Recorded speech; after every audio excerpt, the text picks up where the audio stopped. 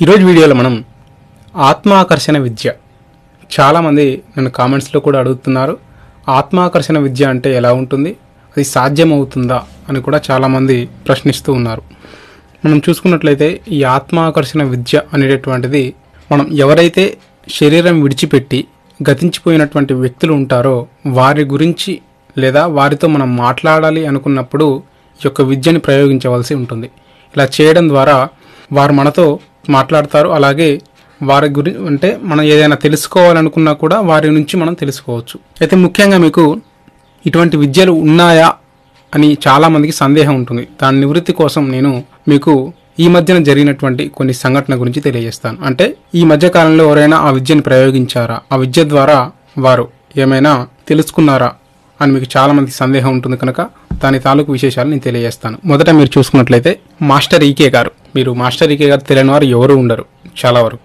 Master ఈకే గారి గురించి చాలా మందికి తెలిసే ఉంటుంది కనుక ఆయన జీవితంలో జరిగినట్టు ఒక చిన్న సంఘటన మీకు తెలియజేస్తాను. ఒకరోజు ఏమవుతుందంటే ఆయన వద్దకు ఒక వ్యక్తి వచ్చి ఒక పుస్తకాన్ని తీసుకొని వెళ్ళడం జరుగుతుంది. అది అంటే కాస్త ప్రత్యేకమైనదిగా చెప్పుకోవచ్చు ఆ పుస్తకం. దాన్ని తీసుకొని వెళ్ళి చదువుతానని చెప్పి తను తీసుకొని వెళ్ళిన కొద్ది రోజులకే ఏదో కారణం చేత ఆయన శరీరం విడిచిపెట్టవలసి ఉంటుంది. అంటే చనిపోతారు. ఆ తర్వాత ఏమవుతుందంటే చనిపోవడం ద్వారా ఇక ఆ పుస్తకం ఎక్కడుండేటటువంటిది ఇక ఎవరికి తెలియదు. అందులోటి వారిగా చనిపోవడం వారింటికి వెళ్ళి ఎవరు అడగరు కనుక మాస్టర్ ఈకే గారు కూడా దాన్ని ఇక మర్చిపోతారనమాట మర్చిపోయి అసలు వ్యక్తి లేనప్పటికీ ఎవరిని అడుగుతారని దాన్ని పట్టించుకోకుండా విడిచిపెడతారు. అయితే కొన్ని రోజులకు ఏమవుతుందంటే ఆయన దగ్గర సంబంధించినటువంటి వ్యక్తులలో ఇంకో అతను వచ్చి మాస్టర్ ఈకే గారిని ఇంతకు ముందే తాను అడుగుతాడు. అయితే అప్పుడు సమాధానంగా మాస్టర్ ఈకే గారు ఆ పుస్తకాన్ని వేరొకరికి ఇవ్వడం ద్వారా ఆయన లేదు తర్వాతకి వచ్చిన తర్వాతకి ఇస్తాను అని చెప్తాడు. అయితే ఆ వ్యక్తి వచ్చి అడగడంతో మాస్టర్ ఈకే గారికి అప్పుడు గుర్తుకొస్తుంది అనమాట నా పుస్తకం ఎక్కడుంది అని అడిగినప్పుడు పలానా ఆయనకి ఇచ్చాను ఇప్పుడు ఆయన చనిపోయాడు వాళ్ళ ఇంట్లోకి వెళ్ళి అడుగు అని సమాధానం చెప్తాడనమాట దాంతో ఈ వ్యక్తి వెళ్ళి వారి చనిపోయిన వారి వ్యక్తి ఇంటికి వెళ్ళి ఆ పుస్తకం ఎక్కడుంది అని వారిని ప్రశ్నిస్తాడు. దాంతో వారు ఆ పుస్తకం ఎక్కడుందో మాకు కూడా తెలియదు తాను చదివి ఎక్కడ పెట్టాడో కూడా మాకు తెలియదు కనుక మేము చెప్పలేము ఆ పుస్తకం ఎక్కడుందో అని సమాధానం చెప్తారు. దానితో ఆ వ్యక్తి వచ్చి మాస్టర్ ఈకే గారి వద్దకు వచ్చి ఈ సమాధానాన్ని చెప్పడంతో మాస్టర్ ఈకే గారు ఏం చెప్తారంటే అది విలువైన పుస్తకం అంటే అన్నిట్లా కాకుండా కాస్త ప్రత్యేకమైనది అనమాట అది దేనికి సంబంధించిన కావచ్చు.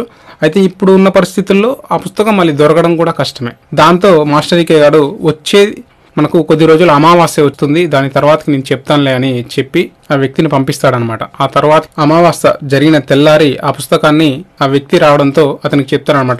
ఏదో ప్రదేశంలో దాని కింద పెట్టి ఉంచాడు. అక్కడికి వెళ్ళి వెతికి చూడు నువ్వు. ఆ ఇంట్లో వారిని వెతకమని చెప్పు. అక్కడ దొరుకుతుందని చెప్పడంతో ఈ వ్యక్తి వెళ్ళి ఆ ఇంట్లో వారికి చెప్పి ఆ పుస్తకాన్ని తీసుకొని మళ్ళీ మాస్టర్ ఈకే వారి వద్దకు రావడం జరుగుతుంది. అయితే ఇది ఎలా సాధ్యమైంది అని మీరు అడిగితే దీన్నే ఆత్మాకర్షణ విద్య అంటాం మనం. ఆ ముందు రోజు అమావాస్య రోజు ఏం జరుగుతుందంటే మాస్టరీకే గారు ఆ వ్యక్తి ఎవరైతే శరీరాన్ని విడిచిపెట్టి వెళ్ళారో ఆయన్ని పిలిచి ఆయనతో మాట్లాడి అది ఎక్కడుందో కనుక్కొని మళ్ళీ అతన్ని పంపిస్తాడనమాట ఇది ఆత్మాకర్షణ విద్య. అలాగే మీకు ఇంకొకరి గురించి కూడా తెలియజేస్తుంది ఇలా ఇటువంటి ప్రయోగాన్ని చేసిన వారిలో ఇప్పటికీ ఉన్నవారు. మాస్టర్ ఈ గారు ఈ మధ్య కాలంలోనే వెళ్ళిపోయారు. అలాగే ఆయన గురించి చాలా మంది ఈ మధ్య కాలంలో అంటే ఇప్పుడు జీవించి ఉన్న వ్యక్తుల్లో ఇటువంటి ప్రయోగాన్ని చేసిన వారు ఎవరైనా ఉన్నారా అని మీరు అడిగితే ఖచ్చితంగా ఉన్నారని చెప్తాను. మీకు సిద్ధేశ్వరానంద భారతీ స్వామి మీ అందరికీ తెలిసిన వ్యక్తే. ఆయన కుర్తాలం పీఠాధిపతి. వారు కూడా ఈ విద్యను ప్రయోగించారు. అది ఎలాగో చెప్తాను మీకు. మనకు జిల్లెల్లముడి అమ్మ. ఈమె కూడా ఒక యోగిని స్వరూపం అంటే సాక్షాత్ దేవతా స్వరూపం అని చెప్పుకోవచ్చు మనం. అయితే ఈ జిల్లెల్లముడి అమ్మతో స్వామివారు ఆత్మాకర్షణ విద్య చేత ఆమెతో ఒక రోజు మాట్లాడడం జరుగుతుంది. అది ఎలా ఉంటుంది అంటే దాని గురించి స్వామివారి వీడియోలు చూసేవారికి కాస్త తెలిసే ఉంటుంది. ఆయనే చాలా చోట్ల దీని గురించి ప్రస్తావన కూడా తెచ్చాడు. అయితే ఒకరోజు అమ్మవారు అంటే ఆ జిల్లెలముడి అమ్మవారు శరీరం విడిచిపెట్టిన తిది రోజు స్వామివారు ఒక నిషిద్ధ అంటే ఎవరూ లేనటువంటి ప్రదేశానికి వెళ్ళి మేడ మీదకి వెళ్ళి ఆ రోజు రాత్రి ఆ తల్లి అంటే జిల్లెల్లముడి అమ్మని ఆవాహన చేయడం జరుగుతుంది. రాత్రిపూట పన్నెండు ఆ సమయంలో అనమాట ఆ సమయంలో అమ్మవారిని ఆవాహన చేసి ఆమెతో తాను చాలా విషయాల గురించి తెలుసుకునేటటువంటివి కానీ లేదా కొన్ని కొన్ని సందర్భాల గురించి అడిగి తాను తెలుసుకోవడం జరుగుతుంది. ఈ విషయాన్ని స్వామివారే చాలా వీడియోస్లో కూడా మనకు చెప్పడం జరిగింది. అంటే స్వామివారి గురించి కాస్త పరిచయం ఉన్నవారు ఎవరైనా ఉంటే వారికి నేను చెప్పే ఆ విషయాలు కూడా అర్థమవుతాయి. అయితే ఇది ఆత్మ ఆకర్షణ విద్య. ఎవరైనా సరే మనం ఎవరినైనా అలా ఆకర్షించవచ్చు వారితో కూడా మాట్లాడవచ్చు. చాలా మందికి ఇప్పుడు సందేహం క్లియర్ అయిందని నేను అనుకుంటున్నాను. అయితే ఈ విద్యలు ఎలా ప్రయోగిస్తారు?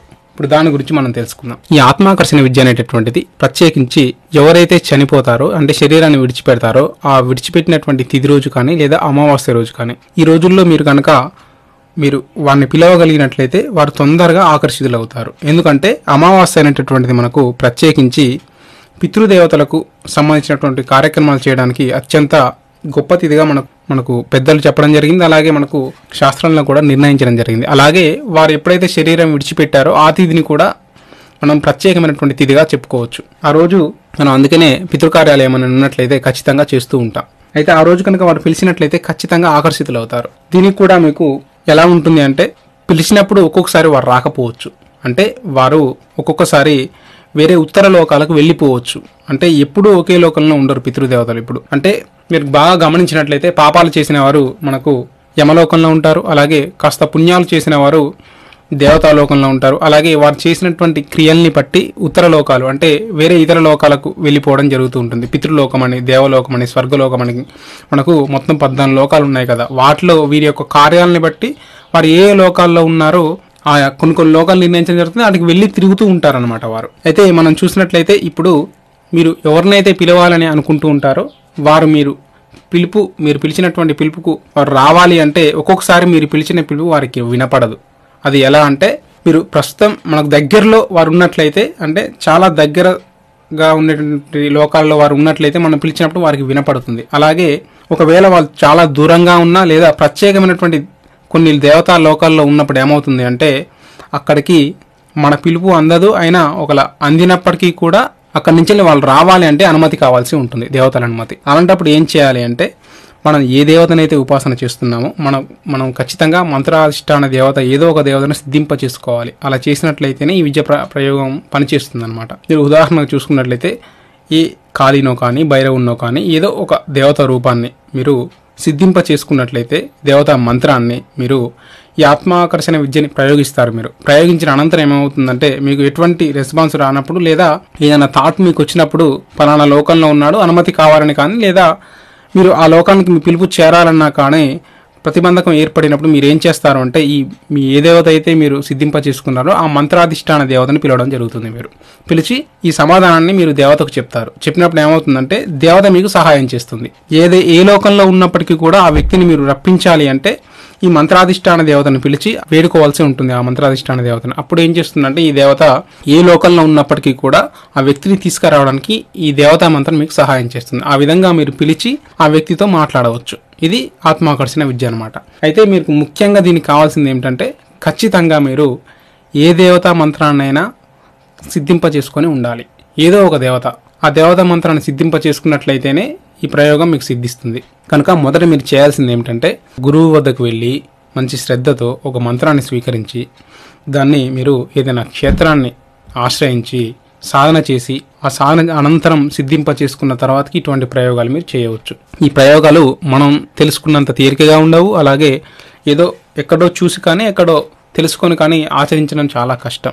ఎందుకంటే ఇది ఇటువంటివి చేయాలన్నా కూడా కాస్త ధైర్యం ఉండాలి. అలాగే ఖచ్చితంగా ఏదైనా ఒక దేవత సహాయం ఉండాల్సి ఉంటుంది మనకు. వారు మహాత్ములు కనుక వారు అనేక మంత్రాలను సిద్ధింప చేసుకున్నారు కనుక వారు పిలిస్తే ఎవరైనా వస్తారు. మనం సామాన్యులం కనుక మనం చేయాలి అంటే మొదట మనం ఏదైనా దేవత మంత్రాన్ని ఖచ్చితంగా సిద్ధింప చేసుకోవాలి అలా చేసుకున్నట్లయితే ఆ దేవత రక్షణ మనకు ఎప్పటికీ ఉంటుంది. ఎప్పుడైనా మీరు గమనించినట్లయితే మీరు ఏదైనా ఒక దేవత మంత్రాన్ని తీసుకొని పూర్తిగా సాధన చేసి సిద్ధి పొందిన అనంతరం మీరు ఎప్పుడు ఏ కష్టం వచ్చినా మీరు దేవతను స్మరించిన వెంటనే మీకు రక్షణ లభిస్తుంది. అది దేవత యొక్క శక్తి మంత్రం యొక్క శక్తి. అలాగే ఆత్మాకర్షణ విద్యకు కూడా మీకు ఖచ్చితంగా దేవతా మంత్ర సిద్ధి ఉండాలి. అలా ఉన్నట్లయితేనే మీరు ఒకవేళ ఏదైనా పొరపాటు చేసినప్పటికీ కూడా ఎటువంటి ప్రమాదం రాకుండా ఆ దేవత కాపాడుతుంది. అలా కాకుండా ఏదేని మీరు సొంత ప్రయోగాలు చేసినట్లయితే శ్మశానాలకు వెళ్ళి కానీ లేదా ఎవరు చెప్పారని కానీ ఇటువంటి ప్రేతక్రియలు లాంటివి ఇటువంటివి ఏమైనా ప్రయోగాలు చేసినట్లయితే అవి బెడిసి కొడతాయి. ఆ తర్వాతకి ప్రమాదం మనకు వస్తుంది కనుక ఖచ్చితంగా మీరు సద్గురుని ఆశ్రయించి మంచి దేవతా మంత్రాన్ని మొదట తీసుకొని సాధన చేయండి. సాధన సిద్ధి అయిన అనంతరం మీరు ఇటువంటి ప్రయోగాలు ఎన్ని చేసినప్పటికీ ఆ దేవత మిమ్మల్ని రక్షిస్తూ ఉంటుంది. ఇది మాత్రం చెప్పగలను. అలాగే మనకు ఇంకో విషయం కూడా తెలియజేస్తాను మీకు. చాలామంది శ్మశాన సాధనలు చేయాలనుకుంటారు. అంటే తీవ్ర సాధనలు. అటువంటి వారు ఏం చేయాలి?